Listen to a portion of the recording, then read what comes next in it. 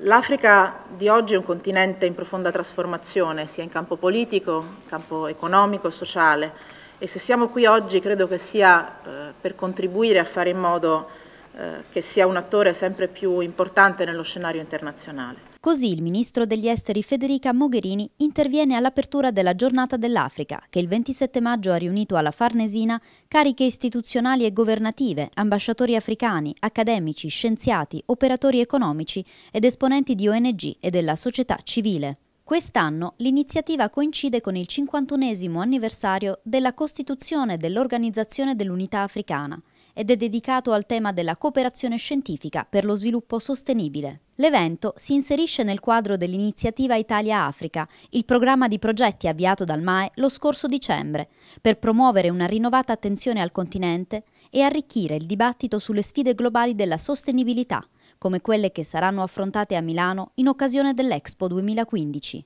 Il piano di azione consolidato africano per la scienza e la tecnologia dell'Unione Africana, conforme agli obiettivi del nuovo partenariato per lo sviluppo dell'Africa e sostenuto dall'Unione Europea, punta ad un'Africa ben integrata nelle economie globali e libera finalmente dalla povertà. È questa l'Africa che sta sorgendo ed è questa l'Africa con cui vogliamo interagire sempre di più e sempre meglio. La giornata dell'Africa oggi ha,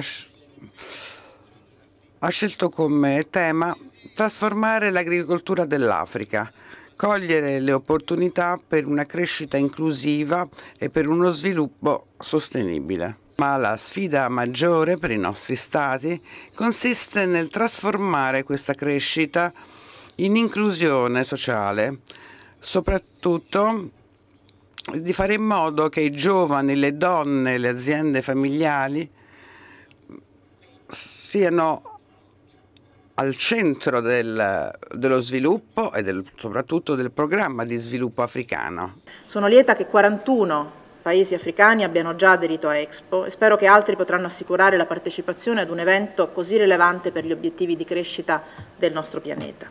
L'Expo di Milano 2015 riflette le preoccupazioni dell'Africa da un lato e dall'altro continuerà a rafforzare il ruolo dell'Italia nella ricerca di soluzioni per problemi legati alla sicurezza alimentare, alla nutrizione e allo sviluppo sostenibile. A fianco ai tanti punti di forza e ai progressi conseguiti in questi anni dal continente africano, esistono però ancora situazioni di crisi e di instabilità che impongono all'Italia di rafforzare il proprio impegno.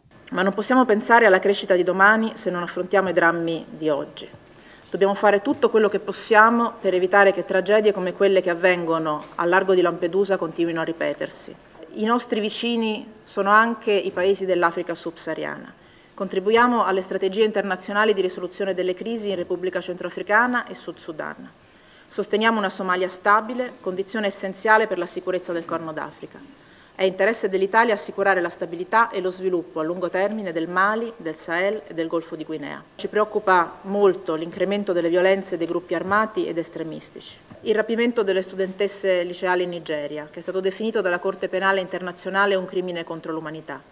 I terroristi che hanno rapito le studentesse hanno inteso colpire il progresso e lo sviluppo della promettente generazione di un paese divenuto la prima economia africana